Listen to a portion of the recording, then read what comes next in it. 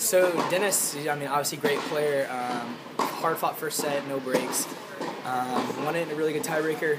Uh, second set, got up a break, was up in the next game, you know, up 40 love, and then just didn't close it out. Credit to him, I, I didn't miss. He just he hit four winners.